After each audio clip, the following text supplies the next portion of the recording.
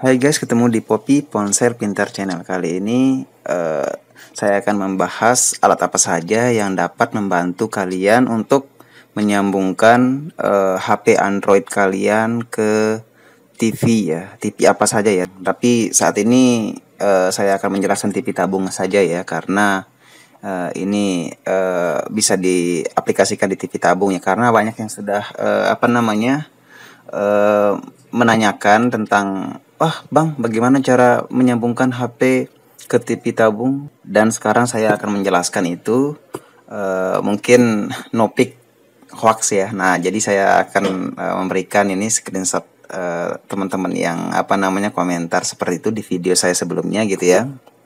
Oke seperti itu. Ya oke.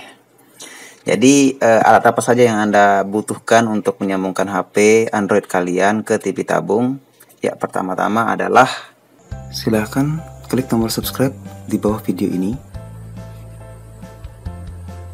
Kemudian, untuk mendukung channel ini, kalian bisa klik like atau jempol ke atas jika Anda suka video ini, atau klik dislike atau jempol ke bawah jika Anda tidak menyukai video ini.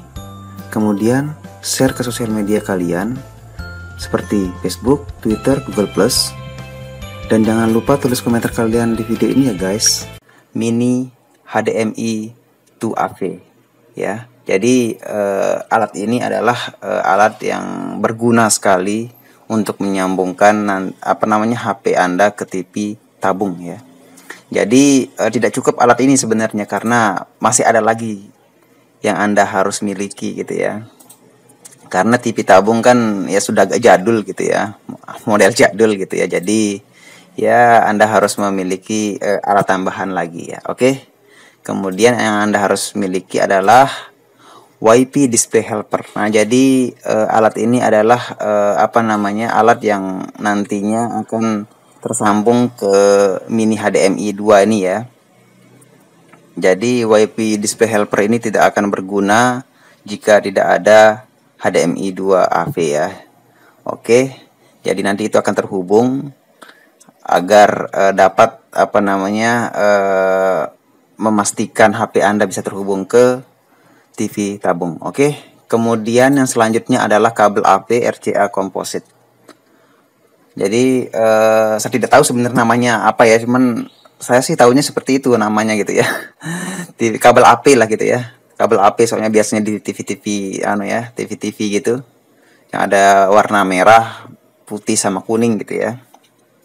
Ya, jadi jika Anda apa namanya ingin menghubungkan Anda harus memiliki kabel ini juga.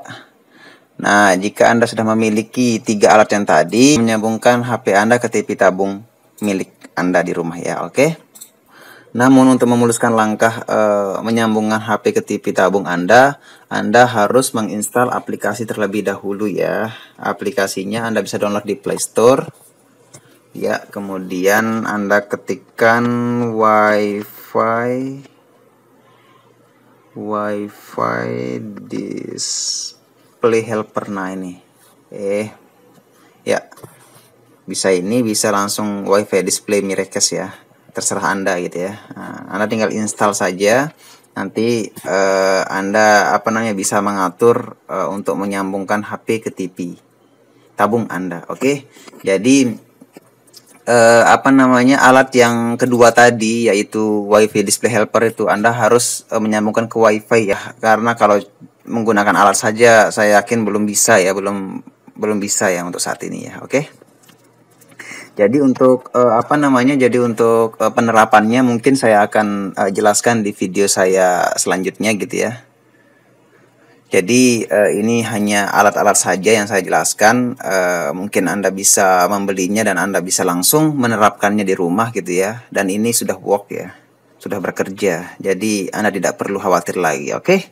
Bagi kalian yang uh, ingin menyambungkan uh, HP kalian ke TV tanpa harus menggunakan kabel atau alat tambahan, anda bisa melihat video saya di layar ini ya. Oke. Semoga informasi ini bermanfaat. Jangan lupa like, comment, share video ini dan bagi kalian yang belum subscribe silahkan subscribe channel ini dan sampai jumpa di video-video saya selanjutnya. Bye bye.